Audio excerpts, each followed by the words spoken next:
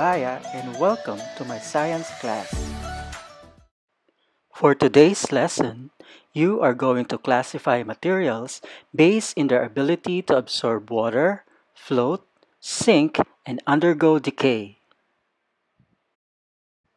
At the end of our lesson, you are expected to describe and classify materials based on their ability to absorb water, identify and describe the materials that float and sink, and describe the materials that undergo decay.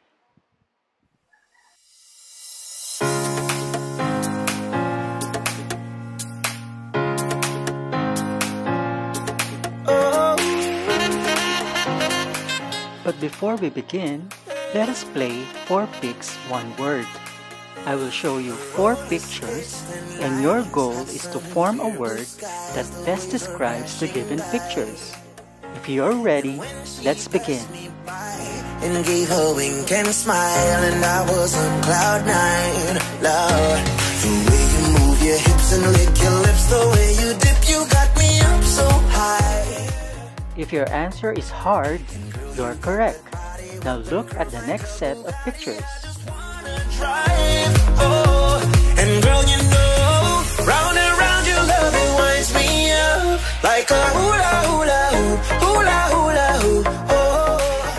The correct answer is texture. And now for the third set of pictures.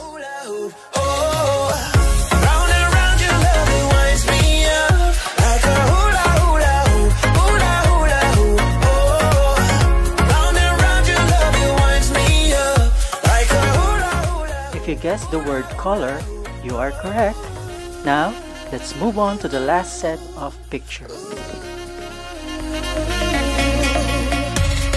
Gravity. I can't believe my eyes. That thing can bring the tide. Hey, around and clockwise. For the last set of pictures, the correct answer is shape. If you got all four correct answers, congratulations!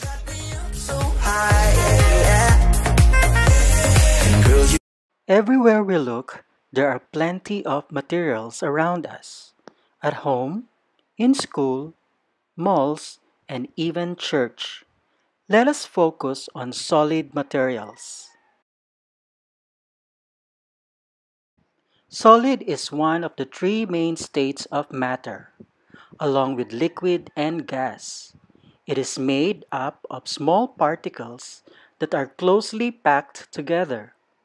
Just like other materials, solids have different properties such as size, shape, texture, and color. Properties means the characteristics of materials. So for today's lesson, we are going to investigate other properties of solids. Are you ready to perform some activities? But as a safety reminder, be careful in doing the activity. Always ask and do the activity in the presence of an adult.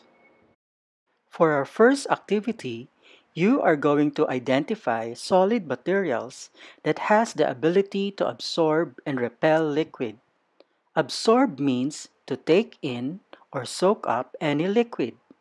Repel means to move away. Get your ball pens and paper ready as you watch this simple experiment. For this activity, we are going to use the following materials. Plastic bag, tissue paper, tin foil, paper, cotton, and sponge. We're also going to use colored water and a spoon. So which material do you think will absorb the liquid? Let's watch the video.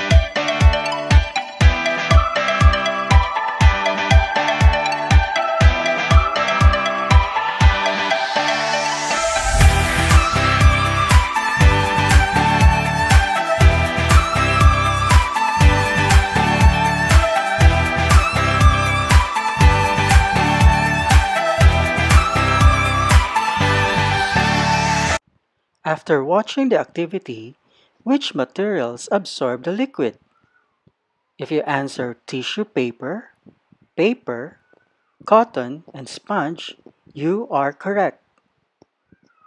The ability of solid materials to absorb liquid is due to the small holes that allow the liquid to pass through. Materials that absorb water are said to be porous. Paper towel, sponge, and cotton wool are porous materials because they have large holes that enable liquids to pass through them, while plastic, paper, foil are non-porous materials because they are tightly packed together and cannot absorb the liquid. Now let's have some challenge. Which of the following objects do you think will absorb the liquid? Good luck!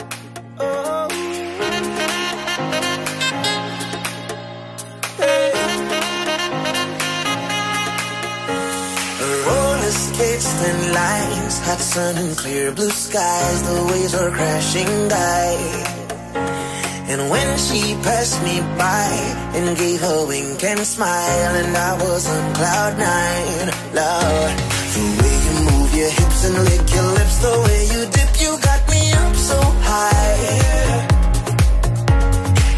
you got Have you ever tossed some sticks in a pond or played with some toys on a pail full of water?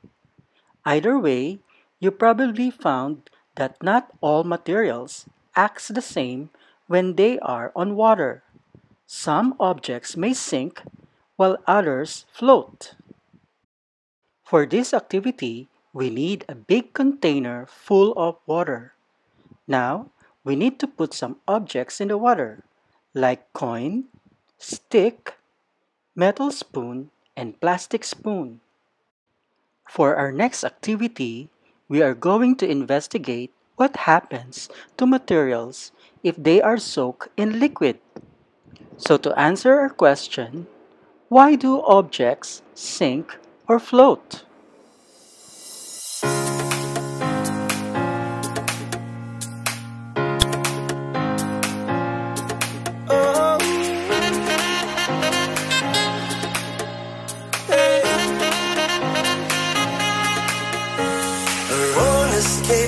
Lines, hot sun and clear blue skies. The waves were crashing by. And when she passed me by and gave a wink and smile, and I was on cloud nine, Lord, the way you move your hips and lick your lips, the way you dip, you got me up so high. And girl, you got that body with them curls like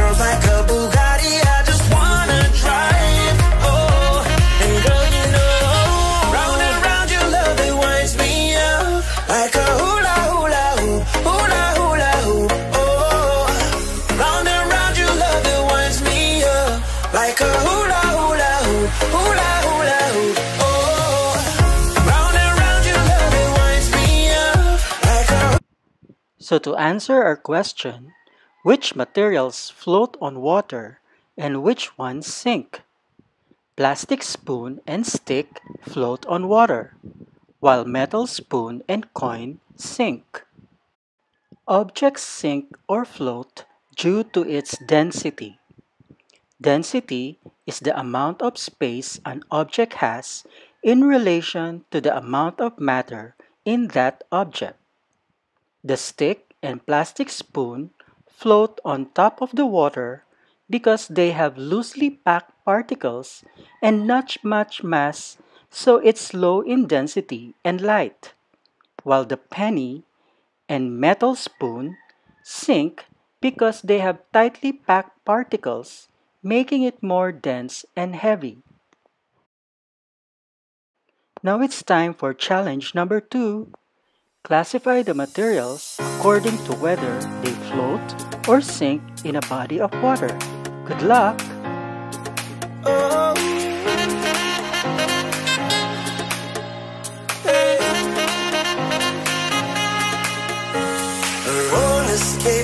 Lines, hot sun and clear blue skies. The waves are crashing by. And when she passed me by and gave a wink and smile, and I was on cloud nine, Lord, the way you move your hips and lick your lips, the way you dip, you got me up so high. And girl, you got that body with them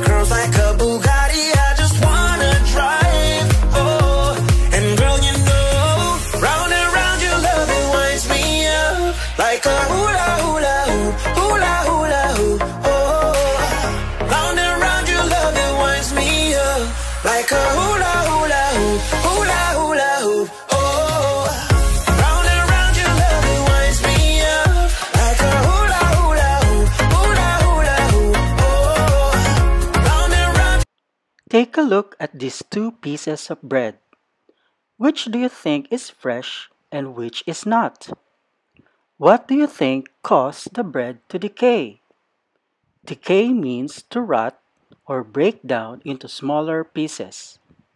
Let us watch the next video of some fruits and vegetables as they undergo decomposition.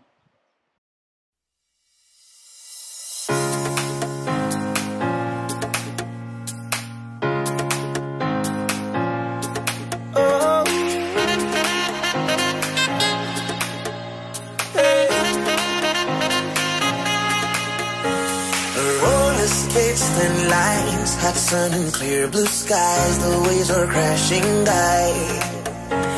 And when she passed me by and gave a wink and smile, and I was on cloud nine, Lord, the way you move your hips and lick your lips, the way you dip, you got me up so high. And girl, you got that body with them curls like a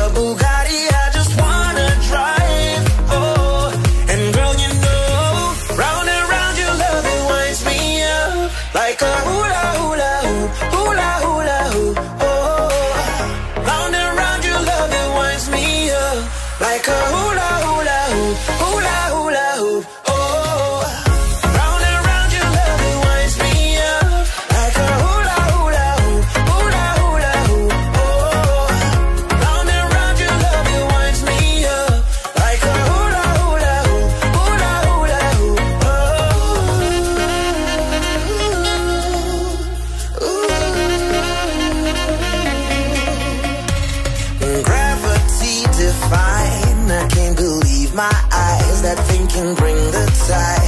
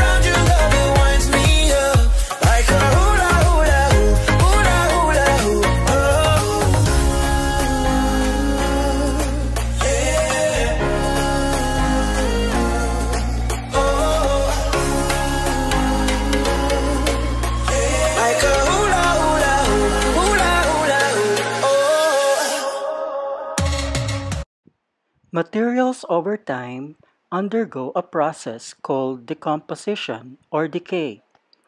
Just like what happened to our fruits and vegetables. After five days, they slowly break down into smaller pieces.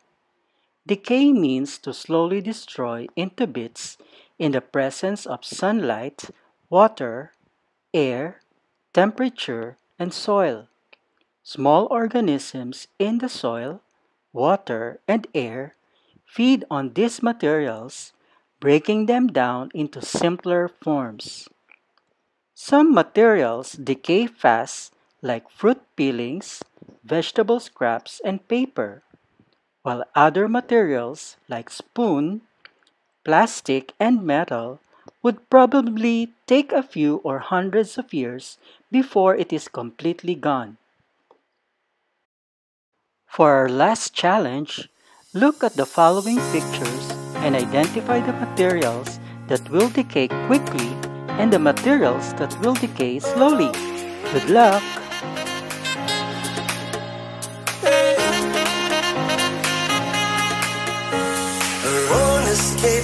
Lines, hot sun and clear blue skies. The waves were crashing. And when she passed me by and gave a wink and smile, and I was on cloud nine, Lord. The way you move your hips and lick your lips, the way you dip, you got me up so high. And girl, you got that body with them curls like a Bugatti.